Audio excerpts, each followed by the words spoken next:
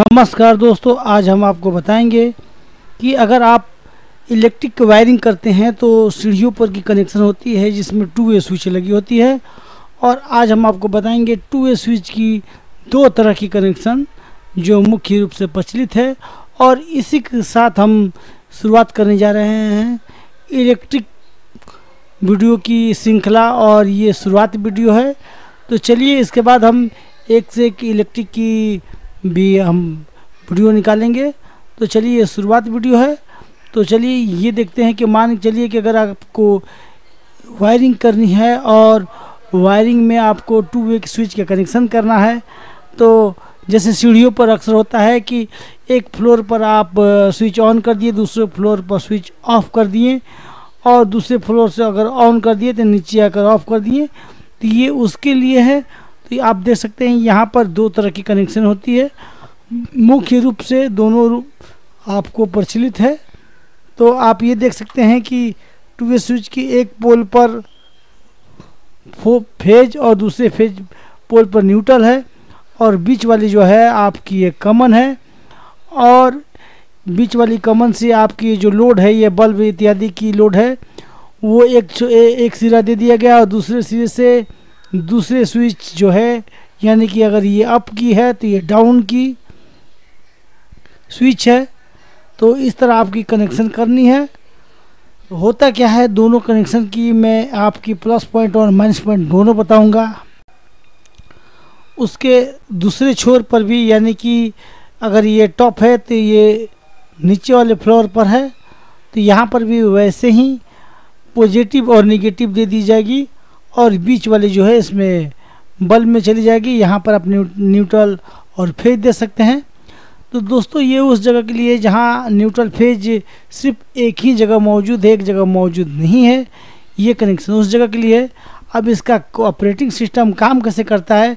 मान चलिए कि यहाँ पर ये जो पोल है, यानी कि फ़ेज़ ये कनेक्ट है यहाँ पर, यानी कि बीच वाले पर तो इससे सीधे यहाँ पर फ़ेज़ मिलेगी और यहाँ पर से फिर ये फ़ेज़ रिटर्निंग होती जाएगी और यहाँ पर अगर ऊपर की तरफ़ कनेक्ट होगी तो यहाँ पर फ़ेज़ मिलेगा जिससे ये बल्ब नहीं जलेगी और नीचे अगर इसको मिल जाता है न्यूट्रल तो ये बल्ब जलने लगेगी।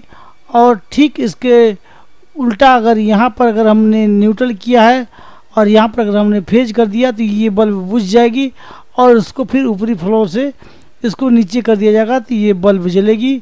ये इस तरह काम करती है। और चलिए हम दूसरे कनेक्शन की ओर चलते हैं।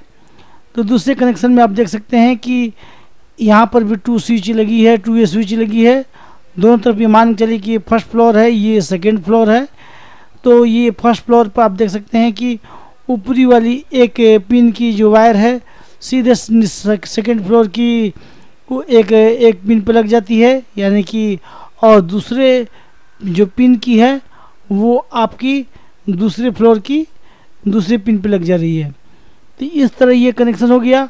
अब बीच वाले पे यहाँ पर हम फ़ेज़ दे देते हैं, जबकि इसके निगेटिव से, यानी इसके कमन से हम उठाकर बल्ब में डालते हैं और उसके दूसरे छोर को हम निगेटिव दे देते हैं। तब होता क्या हो दोस्तों? मान के चलिए कि यहाँ पर अगर हम इसे फ़ेज़ दे देते हैं तो ये अगर ये डाउन में अगर रहती है तो ये बल्ब यहाँ पर फ़ेज़ नहीं मिलेगी, जब आइज़ यहाँ पर ऊपर है तो इसको अगर हम डाउन में कर देंगे तो ये बल्ब बुझ जाएगी। और ये जब हम अप में कर देते हैं बल्ब जल जाएगी। और यहाँ पर अगर ठीक है, हम इसको डाउन कर देते हैं तो बल्ब बुझी हुई है।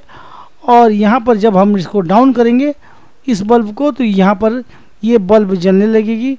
तो इस तरह ये फ़ंक्शन काम करती है। ये दोस्तों उस जगह के लिए है, जहाँ पर दोनों किनारे आपको फ़ेज़ न्यूट्रल का व्यवस्था है, वहाँ के लिए है, जबकि यहाँ पर सिर्फ़ एक जगह पर अगर एक बोर्ड में आपकी न्यूट्रल फ़ेज़ है और इस बोर्ड पर सिर्फ़ ओनली फॉर स्विच है तो भी आपको काम चलेगा। लेकिन यहाँ पर आपको एक न्यूट्रल या फ़ेज़ चाहिए, यहाँ पर एक न्यूट्रल या एक फ़ेज़ चाहिए, तब ये काम करेगी दोस्तों। तो ये इस तरह है, ये इसकी माइनस पॉइंट है कि यहाँ पर आपको दोनों छोर पर आपको न्यूट्रल फ़ेज़ मिलनी चाहिए, जबकि यहाँ पर एक छोर पे मिले तो आपकी काम करेगी।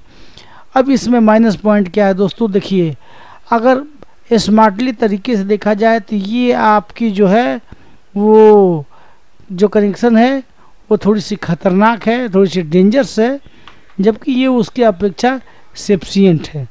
वो कैसे दोस्तों?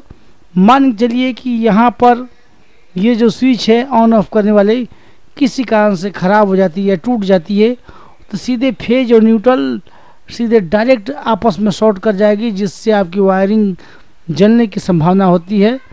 यहाँ पर भी वही चीज़ है, जबकि इसमें क्या है कि अगर यहाँ पर अगर ऊपर नीचे अगर आपकी शॉर्ट हो भी जाएगी तो आपकी वायरिंग में कोई नुकसान नहीं होगा।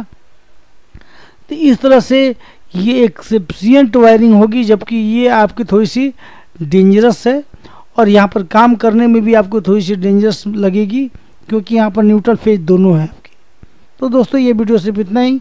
फिर मिलेंगे हम अगले वीडियो में। वीडियो देखने के लिए धन्यवाद।